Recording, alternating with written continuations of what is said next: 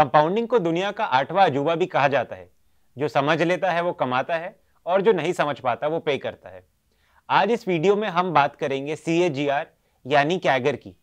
अगर आप financial world में हैं तो आपने सुना होगा कि ये कंपनी का कैगर इतना है, या ये कंपनी का सी ए जी आर बारह परसेंट है, चौदह परसेंट है। तो आज इस वीडियो में हम आपको बताएँगे कि सी ए जी आर होता क्या है, और इसे कैलकुलेट कैसे किया जाता है।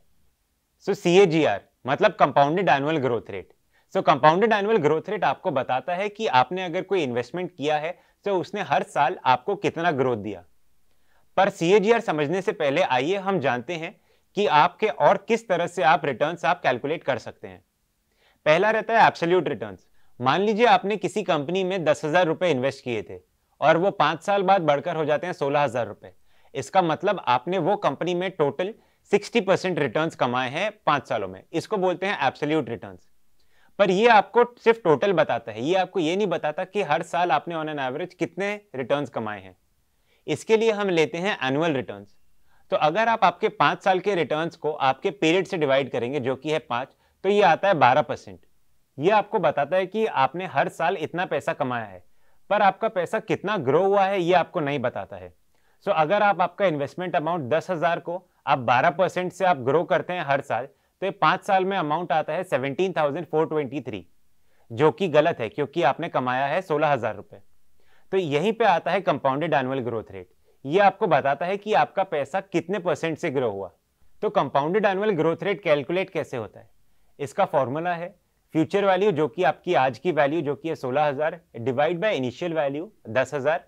Raise to the power one divide by आपका टाइम पीरियड जो कि है पाँच साल माइनस वन सो अगर आप इसको फॉर्मूले में डालेंगे तो ये हो जाएगा sixteen thousand divide by ten thousand raise to the power one divide by five minus one तो ये अमाउंट आता है nine point eight six percent और कंपाउंडेड एनुअल ग्रोथ रेट हमेशा परसेंटेज के टर्म्स में एक्सप्रेस किया जाता है। तो आपने पहले साल में दस हज़ार डाले थे। अगर आपका पैसा हर साल 9.86 परसेंट से बढ़ा है so at the end of the fifth year आपका ये अमाउंट सोलह हज़ार रुपए हो जाएगा। तो ये आपको बताता है कि हाँ आपका पैसा हर साल धीरे धीरे करके 9.86 परसेंट से ग्रो हुआ। सो so, 9.86 सीएजीआर का मतलब है कि अगर आपने दस हज़ार रुपए डाले हैं सो so आपका ईयर एंड पे आपका अमाउंट हो गया है ten thousand nine hundred eighty six.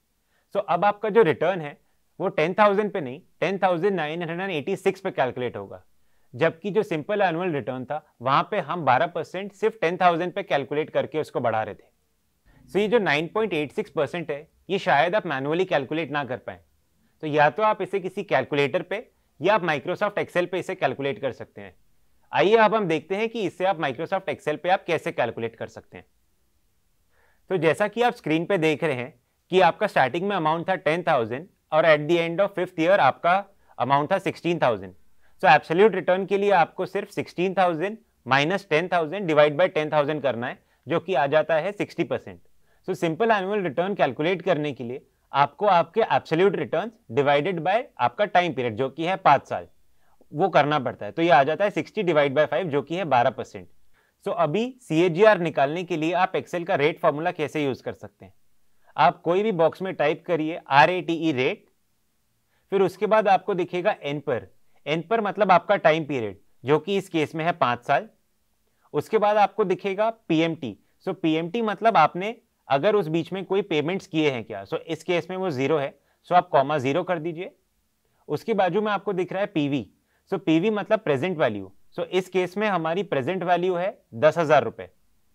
Comma आपको ब्रैकेट में दिख रहा है एफ़ वी एफ़ वी मतलब फ्यूचर वैल्यू सो हमारी इस केस में फ्यूचर वैल्यू है सिक्सटीन थाउज़ेंड रुपीज़ सो आप माइनस सिक्सटीन थाउज़ेंड रुपीज़ कर दीजिए और ब्रैकेट क्लोज एंटर सो आपका अमाउंट आ जाएगा nine point eight six percent तो ये था पाँच साल का सीएजीआर पर अगर आपको देखना है कि ये कंपनी का इनिशियल दो साल का सीएजीआर कितना था सो आप वापस टाइप करिए is equal to rate comma N पर। सो इस केस में आपका एन पर हो जाएगा टू आपका पीएमटी रहेगा ज़ीरो आपकी प्रेजेंट वैल्यू रहेगी टेन थाउज़ेंड और आपकी फ्यूचर वैल्यू इस केस में हो जाएगी thirteen thousand three hundred bracket close enter तो ये अमाउंट आ जाएगा fifteen point three three percent so ये आपको बताता है कि आपका सी ईयर टू ईयर कैसे वेरी करता है?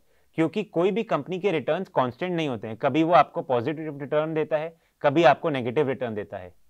तो सीएजीआर आपको बहुत लंबे समय के लिए कैलकुलेट नहीं करना चाहिए। मान लीजिए अगर आप किसी कंपनी का 15 साल का सीएजीआर देख रहे हैं, वो अराउंड 15 परसेंट है। तो आपको लग रहा होगा कि कंपनी अभी भी आपको 15 परसेंट ग्रोथ दे रही है। बट हो सकता है कि वो ऐसा नहीं हो। वो कंपनी में शुरू के पाँच सालों में अच्छा खासा ग्रोथ दिया हो और उसके अगले दस सालों में ग्रोथ नहीं दिया हो।